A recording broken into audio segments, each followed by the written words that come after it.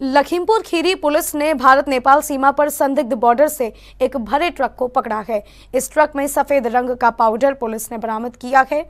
Police ने छापेमारी कर चार लोगों को भी पूछताछ के लिए हिरासत में लिया है। पुलिस टीम फॉरेंसिक जाँच की रिपोर्ट का इंतज़ार कर रही भारत नेपाल की सीमा पर स्थित लखीमपुर खीरी ज़िले के पलिया क्षेत्र से बड़ी खबर आ रही है। शनिवार को बंशीनगर चौकी के पास मुखबिर से मिली सूचना के आधार पर पुलिस ने संदिग्ध माल से भरा एक ट्रक पकड़ा था। ट्रक में मौजूद बोरियों पर soda ash like made in China लिखा हुआ था। पुलिस ट्रक को कोतवाली में ले आई थी और थारू क्षेत्र में गोदाम व घर में छापेमारी की थी। इस दौरान पुलिस ने चार लोगों को पूछताछ के लिए पकड़ा था। सूचना मिली थी, जिसमें कि एक ट्रक जा रही है, जिसमें संदिग्ध माल है। और ये कलर में वाइट तो नहीं है, पीले कलर का है माल था। पाउडर नुमा है क्रिस्टल है। और इसमें जो कट्टे हैं, उसमें करीब जो लिखे हुए हैं, मेड इन चाइना लिखा हुआ था और ये बताया गया कि इसमें सोडा ऐसा है। बाद में जब उनके पेपर को देखा गया तो पेपर संदिग्ध लगे हैं। पेपर में भी कुछ हेरा फेरी की गई थी और जहाँ तक इसी सोर्स की बात है तो ये पता लगा कि ये कहीं ना कहीं नेपाल की तरफ़ से माल को लाया गया था। अभी हम लोग इसकी गहनता से पूछताछ कर रहे हैं, जहाँ जैसे जो इसमें लोग शामिल हैं, करीब चार लोग की गिरफ्तारी हुई है। इसमें एक का आपराधिक इतिहास भी है। इसमें हम लोग जो पूरी टीम लगी हुई है सी ओ पलिया के नेतृत्व में, वो ये जाँच कर रही है कि माल कहाँ से आए थे, एग्जैक्ट सोर्स क्या था, इसके पीछे कौन लोग हैं, और इसको कहाँ डिलीवर्ड किया जा रहा जा रहा है। देखिए, जैसा कि अभियुक्त तो बार बार ये कह रहे हैं कि सोडा ऐसा है, लेकिन सोडा ऐस का कलर वाइट होता है हम लोगों ने कुछ स्पेशल विंग को भी इसको दिखाया है और इसकी जो सैम्पलिंग करके एफएसएल को भेज रहे हैं। अभी तो ये तय नहीं किया जा पा रहा है कि वास्तव में ये जो जो पाउडर नुमा जो पदार्थ है वो क्या है।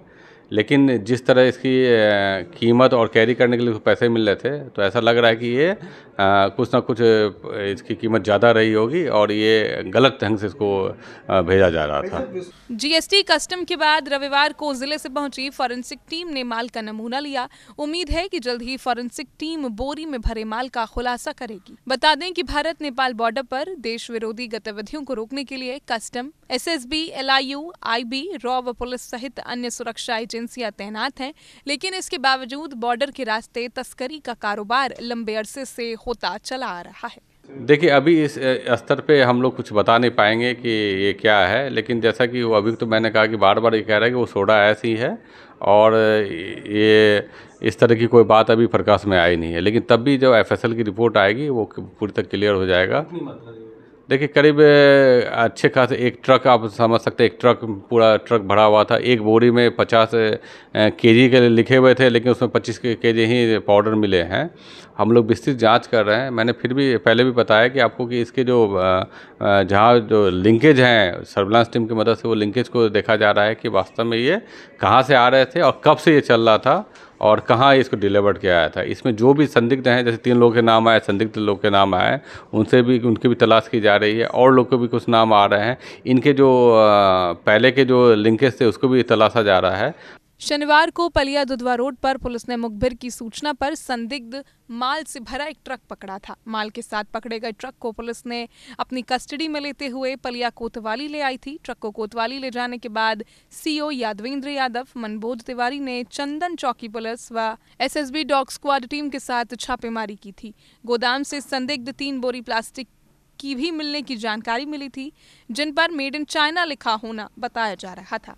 पुलिस ने उन्हें भी अपने कब्जे में ले लिया था। पुलिस ने इस मामले में चार लोगों को पकड़ा था, जिनसे पलिया कोतवाली में पूछताछ की जा रही थी। बताया जा रहा है कि रविवार को पुलिस ने दो और लोगों को पकड़ा, जिनसे भी पूछताछ की जा रही है। सी न्यूज़ के लिए ब्यूरो रिपोर्ट।